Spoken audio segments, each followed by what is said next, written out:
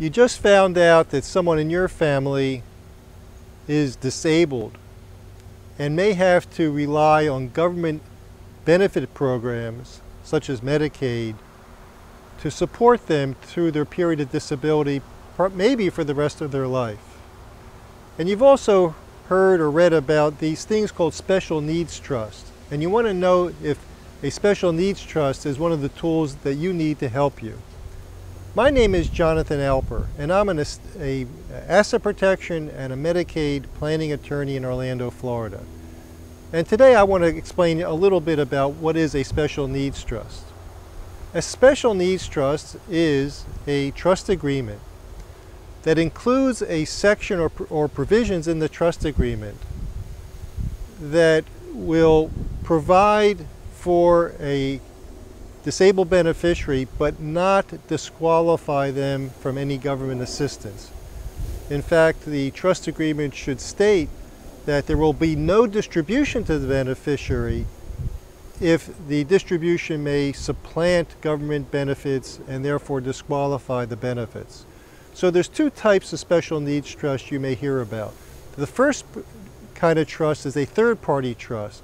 That's the trust that's set up by a, typically a parent or grandparent, but that includes provisions that say that if any of their heirs at any time require government benefit assistance for disability, that no trust distributions will be given to them that may disqualify them from assistance. The other kind of special needs trust is called a first party trust. This is a trust that is established by the disabled person and yet provides them income from the trust and protects the assets in the trust. This is a recent development because up until 2017, a disabled person could not set up a trust for themselves.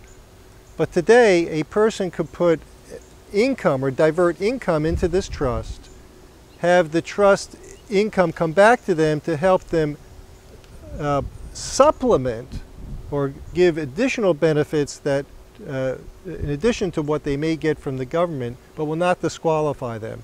The one thing about these kind of self-settled trusts or trusts set up by the disabled person, after that person dies, any money left in the trust goes back to the state agency that provided assistance up to the amount of assistance they have received during their lifetime. So you don't want to put too much money in, in a self-settled or first-party trust because if at the end that money's coming back to the state.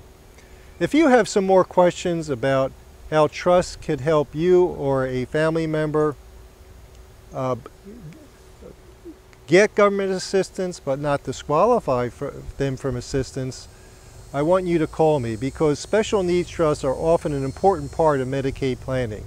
My phone number is 407 444 0404 and we're here to help.